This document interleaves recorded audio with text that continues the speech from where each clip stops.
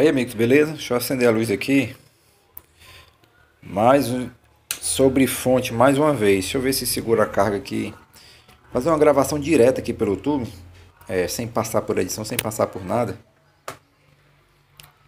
É, negado, por é só gravando vídeo, é, vídeo de fonte, cara, porque essa foi muito recente da outra que eu postei que o cara comprou uma nova, né? Essa.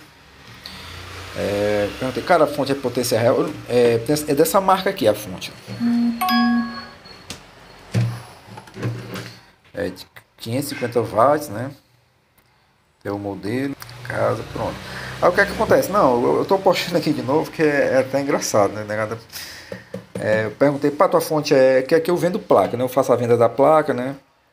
E às vezes a compra placa, mas não sabe nem de montagem, não procura nem entender, entender. Para aí quanto um HD desse consome, quanto o meu processador consome, quanto a memória consome, isso aqui tudo, isso aqui não é, não é meu vida a vento não, é a corrente, vamos comparar com água, isso aqui tem água.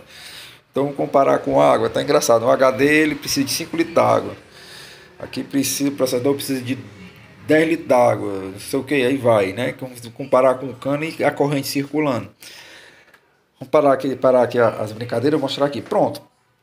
Vendi a placa pro rapaz, ele trouxe só o, a memória, ele trouxe a memória e o processador, né? Aí começou a dar de ligamento, coisa lá, eu digo, pá, estraga. Eu digo, montagem eu não cobro, agora diagnóstico preciso eu cobro. Porque isso aqui não testa fonte, pessoal. Isso aqui não testa fonte, não. Isso aqui, aquele bichinho que liga. O que testa fonte é você jogar a carga na linha que ela manda. Que ela promete, né? Como eu já falei, não precisa falar mais muito sobre isso aqui, não. O que é interessante é mas, mas só que esse eu vou fazer um teste agora mostrando com osciloscópio e, com um testador ali, entendeu? É, deixa eu, deixa eu ligar aqui. Pronto, já liguei, ó. Tá ali os 3.5, deixa eu ligar o osciloscópio. 3.5, ó. Mas essa ainda tava melhor, melhorzinha do que a, a outra que eu postei, né? Mas tá aí, ó, os 3.5, ó. Ela promete 24 amperes nessa linha de 3, ó. Vou mostrar aqui para vocês, ó. Linha de 3.3 volts promete o quê? 24 amperes, né? Vamos lá. Tô com zero, tá ali bonitinho, né?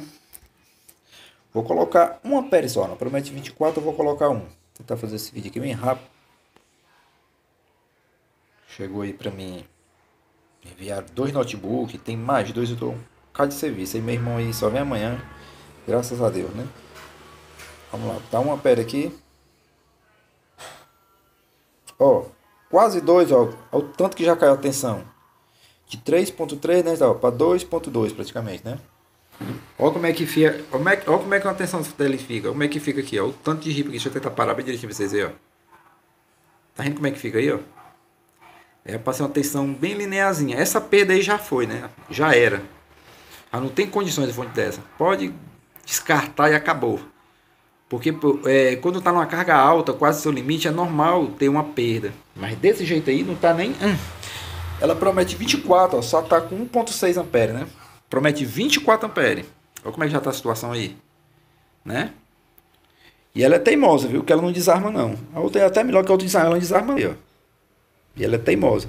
Melhor que desarmasse do que ficar uma tensão horrível dessa aí, ó. Uma tensão suja desse jeito aí, né? Deixa eu aumentar um pouquinho. Tá logo aqui, ó. Tá 4 amperes. De 24, vou botar só 4, ó.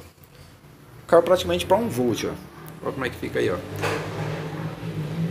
Tá vendo aí, só? Tá vendo como é que fica a situação? Aí não, nem, não adianta nem jogar mais, né? Jogar, a tendência dela é, é cair a zero a total tensão, né? Se tentar jogar mais, isso aqui só pra você ver. Morreu, zero.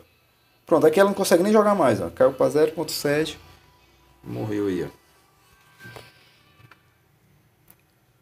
E a trem é teimosa, viu?